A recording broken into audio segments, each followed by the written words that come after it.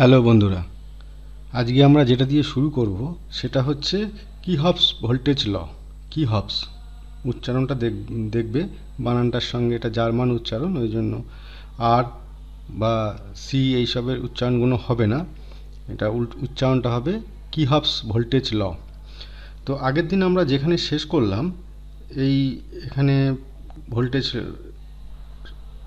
open circuit, series circuit, short short circuit এগুলো যেগুলো শেষ করলাম, সেখানেও আমরা ভোল্টেজ এবং কারেন্টের একটা রিলেশান দেখেছিলাম অঙ্ক করে।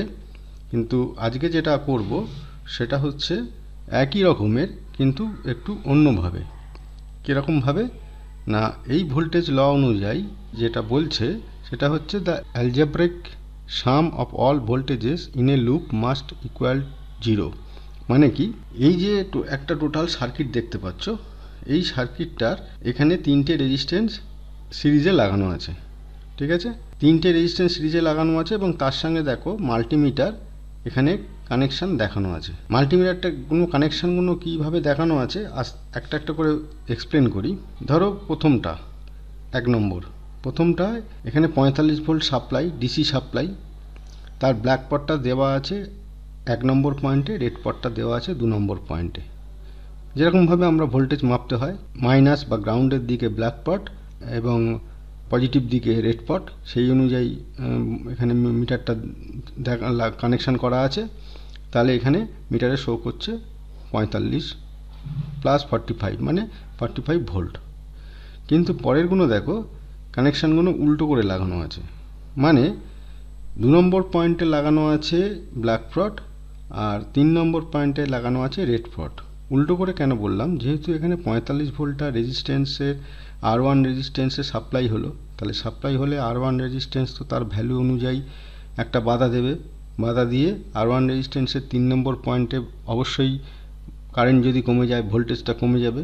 তার মানে তিন নম্বর পয়েন্টে ভোল্টেজ কম হবে। তিন নম্বর পয়েন্টে যদি ভোল্টেজ কম হয়, তিন নম্বর পয়েন্টে যদি ভোল্টেজ কম হয় তাহলে তিন নম্বর পয়েন্টে আমাদের ধরা উচিত ছিল ব্ল্যাক পট আর দু নম্বর পয়েন্টে রেড পট না, এখানে আমরা ধরবো দু নম্বর পয়েন্টে ব্ল্যাক পট নেগেটিভ পয়েন্ট মানে তিন নম্বর পয়েন্টটা যেখানে ভোল্টেজ কমে যাচ্ছে, সেখানে ধরবো রেড পয়েন্ট এই জন্য এখানে লেখা আছে ই থ্রি ড্যাশ টু মানে তিন টু তিন নম্বর পয়েন্টের রেফারেন্সে দু নম্বর পয়েন্টটা আমরা মাপবো। তাহলে এখানে দেখো মিটারে দেখাচ্ছে মাইনাস দশ। মাইনাস দশই হবে, যেহেতু আমরা প্লটটা উল্টো লাগিয়েছি, সেহেতু এখানে মাইনাস চলে আসবে, তার মানে এটা দশ ভোল্ট দশ ভোল্ট কিন্তু এটা মাইনাস চলে আসলো। ঠিক সেম অ্যাস এই পিকচারটা সেম অ্যাস এই পিকচারটা প্রত্যেকটা রেজিস্ট্যান্সে একটা করে কারেন্ট বাধা দেবে, তার ফলে ভোল্টেজ কমে যাবে। ভোল্টেজ কমে গেলে যেদিকে আমাদের ব্ল্যাক পট নেগেটিভের দিকে ব্ল্যাক পট ধরার কথা, সেদিকে না ধরে আমরা উল্টো করে ধরেছি। তাহলে, এবার এই বাঁদিকের এই পিকচারটা দেখো। এখানে যেটা সংক্ষেপ লেখা আছে, উপরে যেটা ভাব- মাপলাম e three point two three dash two minus দশ ভোল্ট এটা এটা হলো, তারপরেরটা মাইনাস কুড়ি ভোল্ট যেটা এটা হলো, তারপরেরটা মাইনাস ফিফটিন ভোল্ট যেটা এটা হলো। তাহলে প্রথমবারে আমরা যখন মেপেছিলাম, এখানে হয়েছিল plus forty five volt plus forty five volt আর বাকি তিনটে যখন অ্যাক্রসে ভোল্টেজ মাপলাম সেটা হলো একটা মাইনাস দশ, একটা মাইনাস কুড়ি, একটা মাইনাস পনেরো। তাহলে সব কটার অ্যাক্রসে ভোল্টেজ চেক করার ফলে যে ভোল্টেজটা দাঁড়াল কত? জিরো ভোল্ট তার মানে ওপরে যে স্টেটমেন্টটা এখানে লেখা আছে the algebraic sum of all voltages in a loop must equal zero তাহলে এখানে জিরো হলো। এটাই হচ্ছে কিহবস ভোল্টেজ ল তার মানে আমরা ব্ল্যাক পট আর রেড পট যেরমভাবে এখান থেকে প্রথম এক পয়েন্টটা থেকে ধরা শুরু করেছিলাম, সেইটাই একটা একটা করে চেঞ্জ হতে হতে গেল এবং তার ফলে দেখা যাবে টোটাল সার্কিটের ভোল্টেজ লটা যোগ করলে ভোল্টেজ সরি টোটাল সার্কিটের ভোল্টেজটা যোগ করলে চারটে আমরা ভোল্টেজ পেলাম, তার ভ্যালু অবশ্যই জিরো হতে হবে। এটাই এই ভোল্টেজ লয়ের মেন কথা। আর যদি জিরো না হয় মানে সাম টোটাল যোগ করলে সবকটা ভোল্টেজ যদি জিরো না হয়, তাহলে কি প্রবলেম না প্রবলেমটা এটাই যে পঁয়তাল্লিশ ভোল্টের সাপ্লাই দেওয়া হয়েছে সাপ্লাই ভোল্টেজ যাই হোক না কেন, সেটা তো কনস্ট্যান্ট সাপ্লাই পঁয়তাল্লিশ ভোল্ট, পঁয়তাল্লিশ ভোল্টই থাকবে। তার মানে বাকি যে ভোল্টেজগুলো, দশ, কুড়ি, পনেরো minus ten minus twenty minus fifteen volt যেটা পেয়েছি, সেটা তার মানে কম বেশি হয়েছে, সেই জন্যই জিরো হয়নি। তো সেটা যদি কম বেশি হয়, তার জন্য যদি জিরো না হয়, তার মানে তখন বুঝতে হবে, এই যেখানে রেজিস্ট্যান্সগুলো লাগানো আছে আর ওয়ান আর টু আর থ্রি এইখানে কিছু গন্ডগোল আছে। হয় রেজিস্ট্যান্স হাই হয়ে গেছে, কেটে গেছে, বা যে কোনো কিছু, অন্যান্য পার্শ্ববর্তী যে সার্কিট আছে, তার সঙ্গে কিছু কিছু শর্ট সার্কিট বা যাই হোক ওপেন সার্কিট কিছু হয়ে গেছে, মোটমাট রেজিস্ট্যান্সের সার্কিটটা চেক করতে হবে। রেজিস্ট্যান্সের ভ্যালুগুলো চেক করতে হবে। এবার যদি আমরা আসি প্যারালাল সার্কিট এটা হলো সিরিজ সার্কিট এরপরে যদি প্যারালাল সার্কিট প্যারালাল সার্কিটও সেম জিনিসটা ঘটবে। যদি এক আর আটের মধ্যে আমরা মাপি, আট, এক হবে। এক, আট আর একের মধ্যে যদি মাপি, তাহলে কত ভোল্টেজ পাবো? ছ ভোল্ট পাবো। মানে এই এইটায় ছ ভোল্ট পাবো। তারপরে মনে করো দুই আর তিনে যদি মাপি, একই পয়েন্ট শুধু কানে কানেকশানে রেজিস্ট্যান্সের মাথা দুটো আলাদা, একই পথে এটা কানেকশান কানেক্টেড করা আছে, তাহলে এটা কত পাবো? জিরো এখানটায় কত পাবো? জিরো এখানটায় কত পাবো? জিরো একই পাথে এটা কানেকশান করা আছে। এগুলো সব জিরো জিরো করে পাবো। আচ্ছা এবার তাহলে আমি যদি দুই তিনে, দুই আর সাতে মাপি, বা তিন আর ছয় মাপি, বা চার আর পাঁচে মাপি, একই মানে বোঝাচ্ছে? দুই সাথে মাপে, মাপা যা ভোল্টেজ মাপার যা যেটা পাবো, তিন আর ছয় যেটা পাবো, আর চার আর পাঁচে একই পাবো, তাহলে এখানে যদি ভোল্টেজটা মাপি আগের ফর্মুলা অনুযায়ী আগের মিটারের যেরকম কানেকশান ধরেছিলাম সেরকম অনুযায়ী কত পাবো? মাইনাস সিক্স ভোল্ট তাহলে এখানে টোটাল যোগ করলে হয় জিরো ভোল্ট তাহলে এটাও মিলে গেল।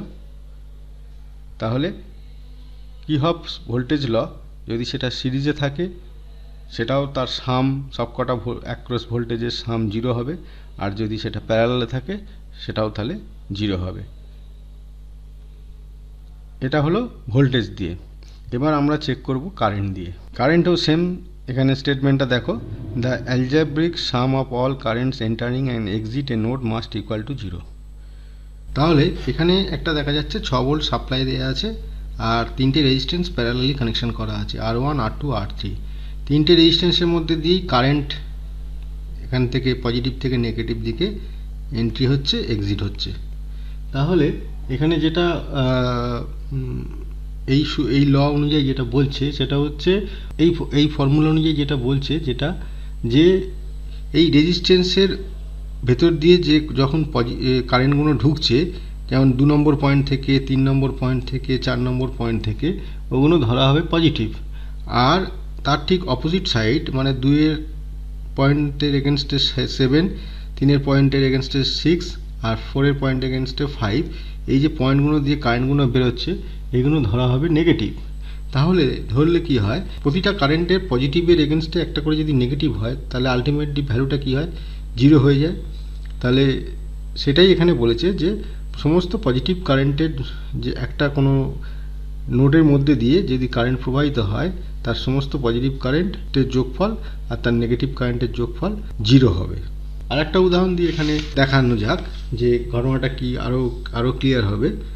মনে করা যাক এই একটা মিডিল পয়েন্ট এখান থেকে মাঝখানে আমরা কানেকশান করছি। এখান থেকে একটা কারেন্ট ঢুকছে, এখান থেকে কারেন্ট বেরোচ্ছে, এটা আই ওয়ান এটা আই টু এটা আই থ্রি এটা আই ফোর এটা আই ফাইভ তাহলে কিছু কারেন্ট ঢুকছে, আর এই পয়েন্টটাকে বলছি এ কিছু কারেন্ট ঢুকছে এবং কিছু কারেন্ট বেরোচ্ছে। তাহলে এখানে ফর্মুলা অনুযায়ী কি হবে? না আই ওয়ান এখানে এন্ট্রি হচ্ছে, তার মানে এটাকে যদি পজিটিভ ধরি, তার এগেনস্টে বা নর্মালি তার আই টুটা কী হচ্ছে? বেরিয়ে যাচ্ছে, তার মানে এটা মাইনাস ধরবো। আই থ্রিটা কী হচ্ছে? বেরিয়ে যাচ্ছে, এটা মাইনাস ধরবো।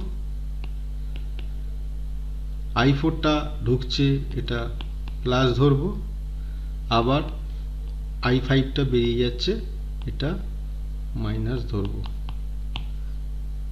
তার মানে যেটা দাঁড়াবে, I one plus sorry minus I two minus I three plus I four minus I five equal to zero হবে।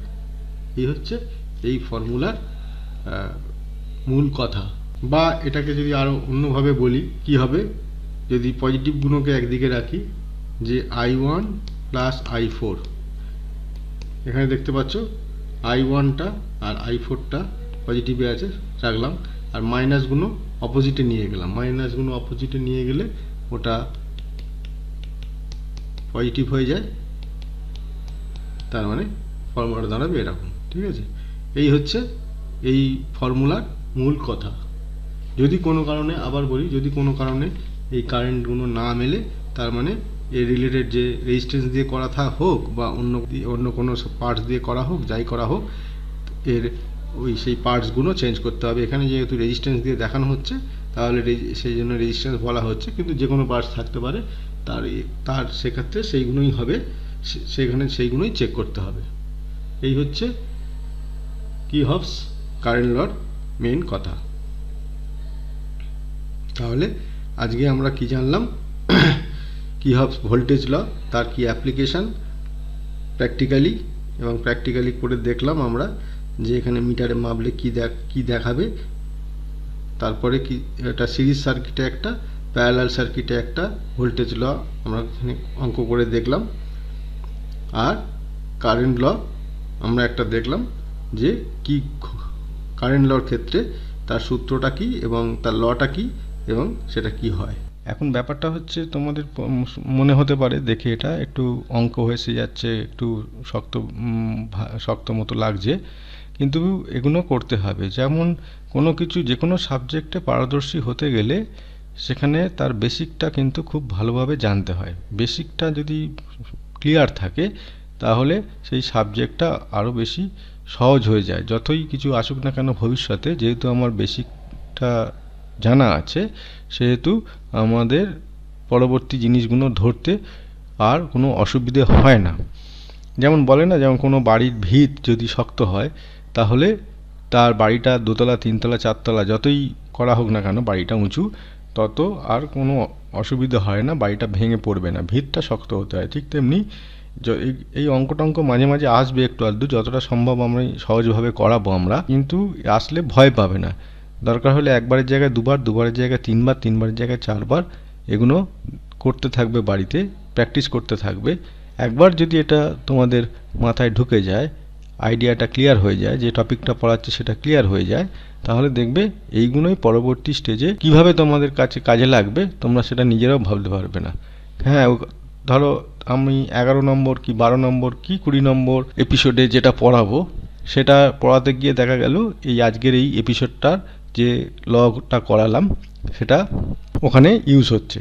তখন আজকের যদি, আজকেরটা আজকেই যদি ক্লিয়ার করে নাও, বুঝে নাও, তাহলে তখন ওখানে দেখবে ওখানকার যেটা নিজস্ব টপিক এটা তো আগে পেছন থেকে আগে গিয়ে ওটা কাজে লাগবে, কিন্তু ওখানকার যেটা নিজস্ব টপিক সেটা তখন বুঝলে, বুঝতে তোমাদের খুব সহজ হয়ে যাচ্ছে। তো ভয় পাওয়ার কিছু নেই। আমরা যেমন ছবি দিয়ে যেরকম পার্স করাচ্ছিলাম, সেরকমও করাবো। আবার এই লগ্নও করাবো। আবার মাঝে মাঝে অল্প অল্প অঙ্কও আসবে। তোমরা পুরোটা নিয়েই এগোও। হ্যাঁ হয়, একবারে হবে না। আবার বলছি, একবারে হবে না। এটা একাধিকবার হয়তো কোনো কোনো জিনিস একবারে বুঝে যাবে, কোনো কোনো জিনিস তিনবার লাগবে, কোনো কোনো জিনিস পাঁচবার লাগবে।